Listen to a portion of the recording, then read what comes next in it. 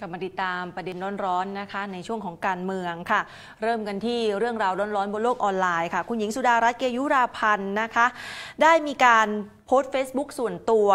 พูดถึงว่าตอนนี้ประเทศไทยนั้นก็เสี่ยงที่จะล้มละลายทางการคลังค่ะ แล้วก็อยากให้ท่านนายกรัฐมนตรีบิ๊กตู่นั้น ปรับงบปี 64 ให้ตอบโจทย์ด้วย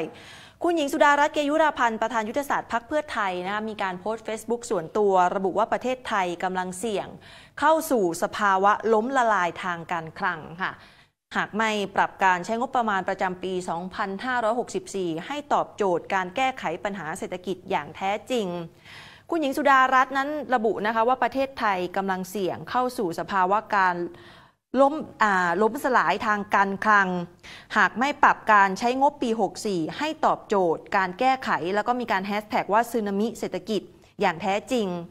คุณหญิงบอกว่าสิ่งที่ดิฉันกังวลสำหรับอนาคตประเทศที่สะท้อนผ่านการจัดสรรงบประมาณรายจ่ายประจำปี งบประมาณ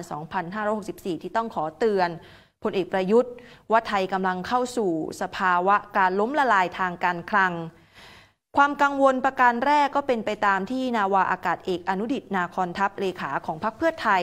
ที่มีการตั้งข้อสังเกตนะคะในสภาไว้แล้วนั่นก็คือรายจ่ายประจำของไทยสูงขึ้นอย่างรวดเร็ว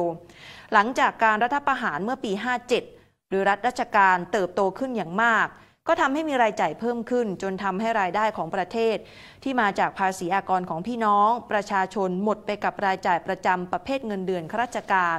แล้วก็การจัดซื้ออาวุธยุโทโธปกรณ์ จนไม่เหลือเงินที่จะมาลงทุนเพื่อการพัฒนาประเทศ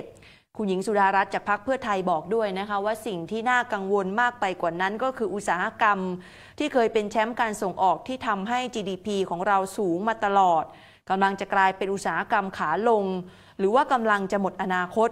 รัฐบาลก็ยังมองไม่ออกว่าเศรษฐกิจหลังโควิด จะเป็นแบบไหน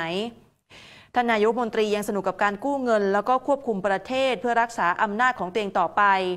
โดยไม่ได้ตระหนักว่าประเทศกำลังเดินหน้าไปสู่ความหายนะ หรือว่าการล้มละลายทางการคลังค่ะ